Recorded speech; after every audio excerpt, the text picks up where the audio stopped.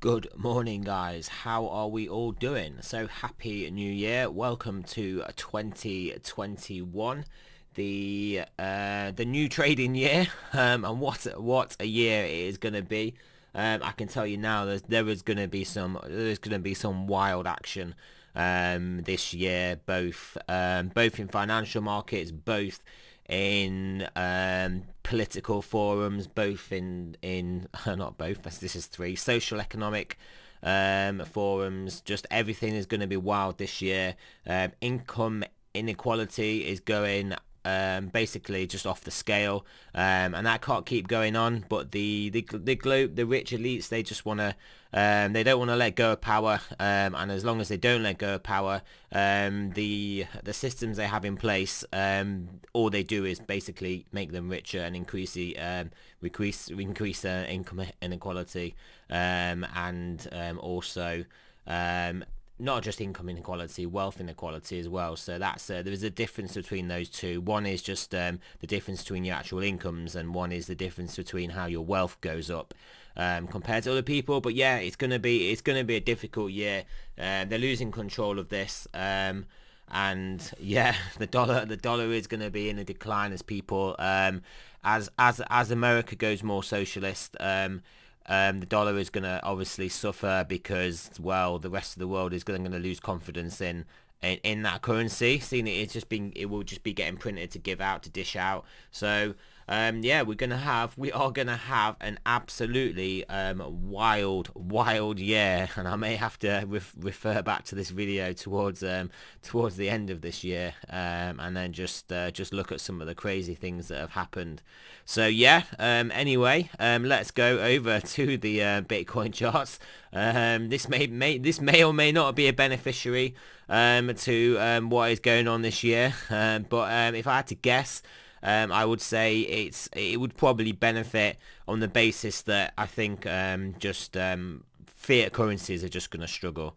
Um, because there's there's nothing really left. I mean, there's there's never been anything left since 2008 um, for them to do other than to print and print and print and print um, and hide the fact they're printing and try and um, reduce money velocity so that money doesn't actually start to um, filter through to prices.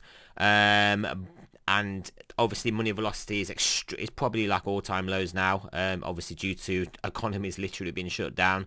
Um, so once that money velocity does increase um, and the actual extreme amount of printing that's been done um, there is going to be um, basically crippling crippling price inflation um, and it's just going to um, it's going to cause a a a sorts of system reset.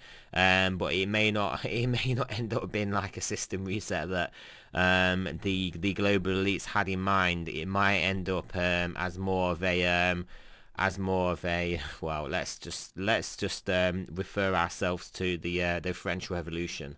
Um, so anyway let's um, let's um, just talk about Bitcoin now. Um, so Bitcoin there's not much to say really. We are still in this ascending wedge. Um, plenty of ascending wedges in Bitcoin have broken up to the upside. It is it is easy for us to get a a a slingshot reversal where we break to the upside and get slammed back down. We may break to the downside and get slammed back up. Um, but at the at the moment, you just have to um, look at this as a statistically um, um, more likely um, to break to the downside, but that doesn't have to happen. Um, you can see we had actually yesterday had a perfect touch of it, a, an absolute perfect touch of this trend line. Um, so yeah, and we were supported by it. So we that was not that was not going to be our our point in time that we were going to lose this trend line um, and lose this wedge. But um, but yeah, at the moment though, we're still we're still trading here. You can see we are under under under a, under a level here, um, twenty nine thousand four hundred. I mean realistically um, this does look like it wants to break this level. This does not look like a like a like a short-term top here. Um, we probably have to get some sort of a of a buying some sort of a um, a um, let me just check this some sort of a um, um, well, buying climax, uh, maybe spikes us up, um, and then um, potentially a pullback. Um, not doesn't obviously, like I said, everything is only um, statistics and probabilities. But at some point, we are we are at some point we are looking we're clearly going to have to have more than a uh, more than a 15% pullback. um, in basically what is um, not far off a 3x uh, 3x price movement. Let me just check this one more one more time, just whilst I remember. What what is the biggest pullback that we've had so far? Um, yeah, um, yeah, basically about 17%. We're going to have a bit, have to have a bigger pullback than that um, in the context of a, uh, a 3x move up in Bitcoin. Um, so when it comes, um, when it comes, who knows um, from what level it comes from? Who knows? if it comes, um, well, it is going to come. Um, so that that goes without saying. But yeah, we'll uh, we'll uh, we just uh, wait uh, with bated breath. Um, we're bated breath on that. So um, Ethereum, also Ethereum BTC is is struggling here. Um, we had this um, pump up. Um, and yeah, we needed to hold this like this horizontal here, which we haven't. Um, so this is this is this is looking this is not looking good again. Basically, um, the only thing we've got to um, to help us at the moment now is the midpoint. Is the midpoint? We'll probably just draw this um, horizontal this horizontal in here. It's near enough the midpoint of this overall move up, um, which is a uh, which is a is usually a do uh, a do a do or die uh, level. Um, so we either we either bounce off this and then uh, make our way back to the high and onwards, or we lose this and then we get a full retrace and then potentially further down. So uh, we'll draw this horizontal in here. Um, it does have confluence here as well, so um, that's obviously good to see. We are on a 4 hour 9, so it, it's a potential um, bounce point, but um, does the bounce point get us back to the highs and back on back beyond? That is what we're going to have to keep an eye on. So Ethereum, obviously Ethereum US dollar um, is um, not looking as bad um, price-wise. Um, so yeah, but it's just not really making any progress. Whilst obviously we we know Bitcoin is uh, is making progress, um, and that is basically what the Bitcoin dominance is. Um, I am sure I drew a, a trend line in here the other day, and I don't really know where it's gone, but we'll draw it back in again. Um, um, yeah, so we've got this uh, trend line here. Are we getting are we getting a, uh, a head and shoulders of sorts? Um, we'll see. We'll see if we do come down to this line, um, and if we break it and see what happens. But yeah, we'll just be aware of that. Um, that would yeah, just be just be aware of that. Um, DXY, I mean, this has not been open. This is not um, trading um, today. Um, but yeah, um, as you can see, we are looking at just a, a back test of this horizontal again. Um, so um, yeah, I mean we broke down, sort of back tested it, broke it down further. We're back testing it again. So do we get back above? Do we consolidate in this zone again and try to go bullish, or are we just going to get rejected here and get slammed down? Um, we shall we shall have to find out. Um, so so yeah, we'll have a look at the stochastics. Um, how are they looking? Are they are they telling us that we have got the uh, the ability to break up out of this wedge and just go even parabolic, uh, even more parabolic? um, or are we looking at a potential uh, a potential pullback? So I mean, four hours there or thereabouts, um, sort of turning back up. It's holding up there. Um, ten hour. I suspect this is yeah. I mean, ten hour.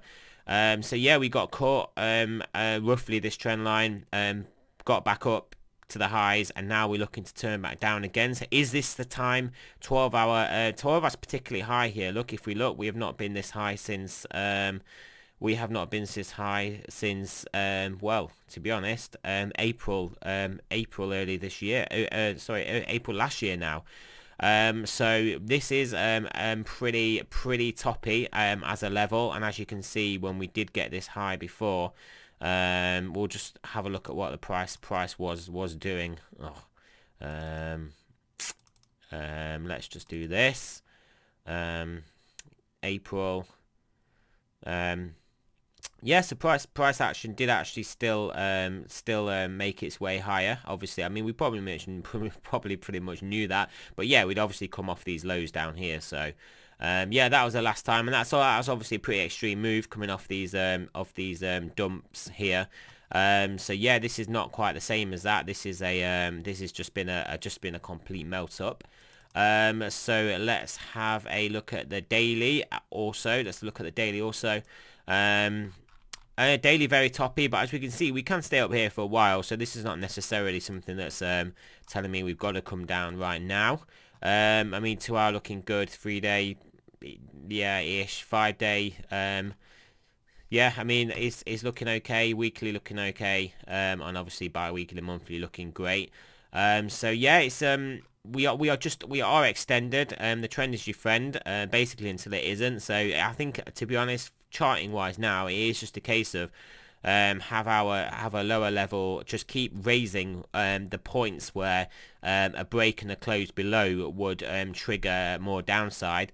Um, and um, just wait for one of them to eventually get broke, just following price action up. so not really much else, not much else we can do, but volatility is coming down here. so when we do get an expansion in volatility, it will potentially um, leads to downside, um, but it could lead to upside first and then downside. Um, so obviously, nothing's nothing nothing's easy in trading, is it? Um, but yeah, realistically, we'll keep an eye on these levels. Um, keep an eye on this. Keep an eye. We can still just trade uh, within the end of this wedge, and then obviously, if we take out this whole this uh, trend line, we'll potentially get um, some swift move to the upside um, and then it will be a case of do we keep going? Do we then find somewhere consolidate or do we then get um, um, swiftly slammed down? Or do we lose the or do we lose the um, or do we lose the bottom side? So um, lots of if buts and maybes with price action. We are getting at an inflection point in this in this move. So obviously there's lots of FOMO buying coming in. They're clearly um, will be some people taking profits also at these levels. So it's just a case of just more buying coming in than, than profits getting taken. Um, and um, and also waiting for um, the actual um, the actual um, CMEs to open and the um, the people to come back to to, to start trading again. Because um, at the moment obviously it's just um, it's it's light it's lightly traded markets at the moment. Um, so yeah that is it guys. Remember this is not a financial advice I'm not a financial advisor. Always um, do your own research and I will speak to you guys later on today